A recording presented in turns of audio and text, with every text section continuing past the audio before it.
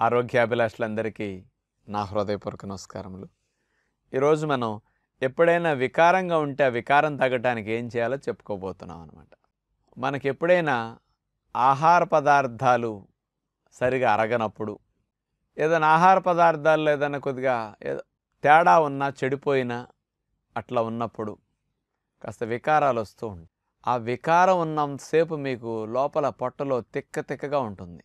తెమలటం అని కొంతమంది పల్లెటూరు భాషలు అట్ట వాడుతుంటారు. తెములుతున్నది నాకు తిప్పుతున్నది నా లోపల అట్లా అంటుంటారు. ఇలా ఎప్పుడు పొట్టలో వికారం లక్షణాలు ఉన్నా మనకి కళ్ళు తిరగటము నోట్లో లాలాజలం ఎక్కువ రావటం ఇక మనసు అసలు కుదురుతుండదు ఉద్యోగ వ్యాపారాల్లో ఉన్న ఎక్కడున్నా మీకు అసలు నిలకడ ఉండదు ఇక స్థిరం ఉండదు. అంత అసౌకర్యంగా ఉంటుంది. హెడేక్స్ వచ్చేస్తాయి. కొంతమందికి అంతా కన్ఫ్యూజన్గా గడిబిడిగా చేసేస్తూ ఉంటుంది. చాలామంది పొట్టలో ఇట్లాంటి ఎప్పుడన్నా వికారంగా ఉన్నప్పుడు తెలియక ఏం చేస్తారంటే అలాగే ఆ వికారం ఉన్నప్పుడు మాత్ర ఏదైనా వేసుకునే తలనొప్పి వస్తే తలనొప్పి మాత్ర వికారంగా ఉంటే వికారం తగ్గటానికి మాత్ర ఇలా చేస్తుంటారు. ఈ మాత్రలు వేసిన తలనొప్పికి ఏదైనా చేసిన అలాంటప్పుడు వికారం త్వరగా తగ్గదండి.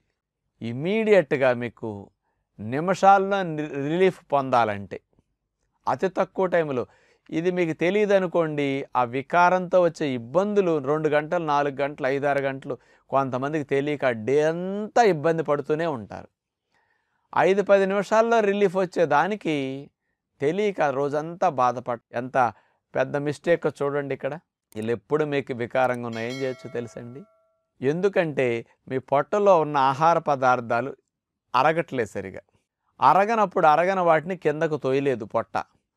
కిందకు తోయటానికి లేనప్పుడు అక్కడ ఉంచితే ఆహార పదార్థాలతో పొట్ట అది ఇన్ఫెక్షన్స్ వస్తాయి. గ్యాసెస్ ఫామ్ అవుతాయి. పొట్ట చెడిపోతుంది ఆహార పదార్థాల వల్ల. అందుకని అరిగితే కిందకు పంపుతుంది అరక్కపోతే దాన్ని పైకి పంపించేయాలి. మన పొట్ట నిమిషానికి మూడు సార్లు అట్లా కదలికలు చేసుకుంటూ ఉంటుందండి. ఆహార పదార్థాలు కూడా లోపల అంచులమట వరే జీర్ణాద రసాలతో సమానంగా కలిసి అరగాలి.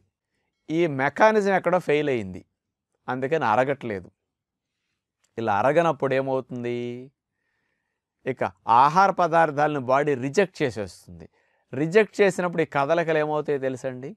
నిమిషానికి మూడుసార్లు ఇట్లా తరంగాల్లాగా కదలికలు వచ్చే పొట్టలో వామిటింగ్ సెంటర్ స్టిమ్యులేట్ అవ్వాలి. కానీ మీకు వికారం తీవ్రత ఎక్కువ లేనప్పుడు స్టిమ్యులేట్ కాదు. ఈ కదలికలినప్పుడు రివర్స్ గేర్ వేసింది అనుకోండి ఇట్లా వస్తాయి తరంగాల్లాగా. రివర్స్లు ఇట్లా వచ్చేసరికి ఆటోమేటిక్గా లోపల ఉన్నది వెంటనే పైకి వచ్చేస్తుంది కక్కేస్తాం. కక్కితే మొత్తం పొట్టలు అరగని ఆహారాలు ఇవన్నీ కూడా చూడండి ఒక్కసారి పడిపోతే ప్రాణానికి హాయిగా అనిపిస్తుంది. మీరు ఆ కక్కితే హాయిగా ఉంటారు. మరి మీ కక్కు రావట్లేదు కదా. అందుకని మామూలు అప్పుడు కదలికలు ఇట్లా కక్కేటప్పుడు అట్లా. మీరు తినటానికి ఇంత అరగంట పట్టొచ్చు. కానీ కక్కటానికి అర నిమిషం పట్టదే. మరి అంత స్పీడ్గా తినమంటే ఇంత దాన్ని మీరు అర నిమిషంలో తినలేరు. కానీ కక్కినప్పుడు ఏమవుతుందంటే బాడీలో మెకానిజం అంతా రెడీ చేసుకుని ఆ అన్నవాహికని వెడల్పు చేసేసి అంచులమ్మట నీళ్ళు నోట్లో ఊరించి లూబ్రికెంట్ చేసేసుకుంటుంది అందుకని వామిటింగ్ అయ్యేటప్పుడు చూడండి వికారం ఉన్నప్పుడు నోట్లో కొత్త బావిలో ఓట వచ్చినప్పుడు ఓట ఊరిపోతూ ఉంటుంది ఇదంతా. అంత లూబ్రికేషన్ వస్తుంది. గొట్టం బాగా వెడల్పు అవుతుంది. ఇప్పుడు డెలివరీ అవ్వటానికి ఆ యోని మార్గం చూడండి అంత బాగా అప్పుడు రోజు సాగదు కానీ అప్పుడు అంత బాగా సాగుతుంది అక్కడ. కారణం ఏంటంటే అవసరం కాబట్టి బాడీ అట్లా చేసేసుకుంటుంది. అక్కడ జిగుర్లు స్రవించి ఆ భాగాల్లో లూబ్రికేషన్ చేసేసుకుని జరిగొచ్చేట్టు చేస్తుంది. అందుకని ఇంత పదార్థాన్ని బయటికి గంటాలంటే అవన్నీ లూబ్రికెంట్ చేసేసి రివర్స్ గేరేసేసి మొత్తం కక్కిచ్చేస్తుంది. కక్కితే హాయిగా ఉంటుంది. తలనొప్పి పోతుంది కళ్ళు తిరగడం తగ్గుతాయి అన్నీ ఫ్రీ అయిపోతాయి. కానీ మీకు కక్కు రావటానికి అది మధ్యాహ్నం అవ్వచ్చు సాయంకాలం అవ్వచ్చు రాత్రి అవ్వచ్చు. ఆ వచ్చేదాకా ఎన్ని గంటలు మీరు అవస్థ పడుతూనే ఉంటారు. అంచేత ఇట్లా వికారంగా ఉండి కక్కు రావట్లేదు వామిటింగ్ మీకు అవ్వకుండా అనీజీగా ఉందన్నప్పుడు అన్ని గంటలు మీరు అవస్థ పడకుండా ఇమీడియట్గా నిమిషాల్లో ఫ్రీ అవ్వాలంటే అది వామిటింగ్ చేసేదాకా కూడా మనం వెయిట్ చేయకుండా మనమే వామిటింగ్ వచ్చేటట్టు ఇంకా రెడీ చేసేస్తాం మెకానిజం అని. ఏం చేయాలో తెలుసండి? మీరు ఇంట్లో ఉన్నప్పుడైతే వేడి నీళ్ళు తీసుకోండి. పొయ్యి మీద పెట్టండి వేడి నీళ్ళు. గోరెచ్చగా అయ్యేటట్టు చేసుకోండి. ఎక్కువ కాదు గోరెచ్చని వేడి చేయండి. అందులో అంత ఉప్పు కలపండి. ఆ నీళ్ళల్లో. ఉప్పుగా సముద్రం నీరు ఎట్లా ఉంటాయి? అలా అలా ఉప్పు కలిపేసి నీళ్ళు ఉప్పగా అవుతాయి. ఆ ఉప్పు నీళ్ళు తీసుకోండి. గట్ట గట్ట గట్ట గట్ట తాగేయండి. ఒకవేళ ఉప్పు నీళ్ళు నాకు వద్దులేయండి అనుకుంటే మామూలు నీళ్ళైనా తాగొచ్చు.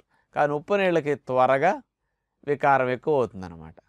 ఏమండి అసలే వికారంగా ఉందంటే ఇంకా ఉప్పు నీళ్ళు తాగితే ఇంకా వికారం ఎక్కువ అవుతుంది కదా ఎందుకు మరి ఇంకా అనొచ్చు? ఇప్పుడు ఇక్కడ వికారం ముదిరితే కానీ వాంతి అవ్వదు వాంతి అయితే కానీ తిక్కపోదు అందుకని మనం ఏం చేయాలి ఇంకా పొట్టకి ఇంకా వికారాన్ని పెంచితే తక్కువ టైంలో వామిటింగ్ అయిపోతుంది. ఐదారు గంటలు పది గంటలు వికారం పెరిగేదాకా వెయిట్ చేయకుండా మనం ఇమీడియట్గా వికారాన్ని పెంచేయాలి. వికారం పెరిగితే వామిటింగ్ ఆటోమేటిక్ అయిపోతుంది. అందుకని వికారం పెరగాలంటే వేడి నీళ్ళు ఉప్పు కలపండి. అసలు వేడి నీళ్ళు కూడా తాగబుద్ది కాదు జనానికి కాదు. అది కూడా వికారమే. పైగా ఉప్పు వేస్తే అసలు ఉప్పు నీళ్ళు ఎవ్వరికీ నోటికి బాగో యాక్సెప్ట్ చేయలేము. అలాంటి ఉప్పు నీళ్ళని తీసుకుని మీరు గట్ట గట్ట తాగేయండి. ఎంత తర అంటే లీటర్ రెండు లీటర్ల నీళ్ళు పట్టండి. రెండు లీటర్ నీళ్ళు ఉప్పేసేయండి తాగుతూ ఉండండి. ఎంతవరకు త్రాగాలి తెలుసండి? తాగుతూ ఉంటేనే ఇక మీకు ఆకుండా వాంతి వచ్చే వరకు మీరు తాగుతుండాలి అంతే ఆ లీటర్న్నర రెండు లీటర్ నీళ్ళు అట్ట గట్ట గట్ట గట్ట గట్ట తాగుతుండండి. మరీ ఇబ్బందిగా ఉంటే ఒక హాఫ్ మినిట్ ఆగండి మళ్ళా తాగేసేయండి. ఇక బాగా వికారం పెరగాలి. అసలే తెక్కపూటి చస్తున్నది లోపల. అప్పుడు చూడండి ఆ ఉప్పు నీళ్ళు పోసేసరికి ఇంకా తెక్కెక్కువ అవుతుంది. అప్పుడు ఇరిటేషన్ ఎక్కువైపోయాక పొట్ట నిండా అయ్యేసరికి కదలికలు ఆగిపోతాయి. అందుకని దాన్ని తొలగించడానికి రివర్స్ గేర్ వేసేస్తుంది వెంటనే పొట్ట. అందుకని మీరు తాగేటప్పుడే వికారం వచ్చేటట్టు బడబడబడ అట్లా ఎక్కువగా స్పీడ్గా తాగేయండి ఉప్పు నీళ్ళని. ఇక ఆటోమేటిక్గా కక్కు వచ్చేస్తుంది. ఒకవేళ రావట్లేదు అనుకోండి ఆ లీటర్న్నర రెండు లీటర్ ఉప్పు నీళ్ళు తాగాక ఈ వేళ్ళు పెట్టి గోళ్ళు లేకుండా చూసుకుని కాస్త జాగ్రత్త అట్లా పెట్టి ఆ గొంతులు అట్లా అనండి. వికారం ఇంకా ఎక్కువైపోతుంది. వెంటనే కక్కేస్తారు. ఒక్కసారి ఊపుగా వామిటింగ్ అయిపోతుంది. ఆ అరగన పదార్థాలన్నీ నీళ్ళు వచ్చి పట్టుకుని వామిటింగ్ చేసేస్తాయి అనమాట సింపుల్ రెమెడీ. అంటే మీరు వికారంగా ఎప్పుడున్నా సాయంకాలం దాకా రాత్రి దాకా మీరు అవస్థ పడద్దు. ఎక్కడున్నా సరే నీళ్ళు. ఏమి దొరకవు వేడి నీళ్ళు దొరకవు ఉప్పు దొరకవు. రోడ్డు మీద బయట ఎక్కడ ఉన్నారు లీటర్న్నర రెండు లీటర్లు చల్లటి నీళ్ళు అని తాగేసేయండి. వాంతి వచ్చే వరకు తాగుతూ ఉండండి అంతే. ఏళ్ళు పెట్టి కక్కేయండి. శుభ్రంగా పడిపోతాయి. కాసేపట్లో ఫ్రీ అయిపోతారనమాట ఇలా వామిటింగ్ అయ్యాక మీరు వెంటనే తినకండి. ఒక గంట కొంచెం కొబ్బరి నీళ్ళు తాగండి. అవకాశం ఉంటే లేదా తేనె ఉంటే నాకండి కాస్త వీక్నెస్ ఉండదు. ఒక గంట రెండు గంటలు గ్యాప్ ఇచ్చి ఏదైనా పండు ఏదైనా హాయిగా ఉంటుంది తినండి. మళ్ళీ అన్నం కూరలు తినకండి. అవన్నీ ఇరిటేట్ అయి ఉంటాయి కదా కాస్త ఉప్పు కారాలు వెళ్తే మండుతాయి. అంటే కొంతమందికి తలనొప్పులు వచ్చినప్పుడు మైగ్రేన్ తలనొప్పులు వచ్చి వికారంగా ఉంటుంది. వారానికి ఒకసారి వస్తుంది. ఆ వికారంగా ఉన్నప్పుడు ఆ తలనొప్పి రోజంతా లేకపోతే రెండు రోజులు ఇబ్బంది పెడుతూ ఉంటుంది అనమాట అన్నేసి రోజులు మీరు బాధపడకుండా వికారంగా ఎప్పుడు తలనొప్పి అనిపించిన లీటర్ లీటర్న్నర రెండు లీటర్ నీళ్ళు తాగేసి కక్కేయండి మొత్తం పోతుంది.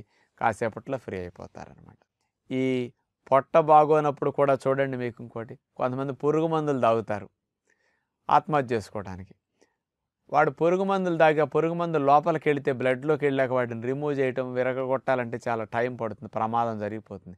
అందుకని ఆ పురుగు మందులు తాగిన వాళ్ళకి పొట్టలో మిషన్ పెట్టి ఉప్పు నీళ్ళు ఎక్కిచ్చేస్తారు.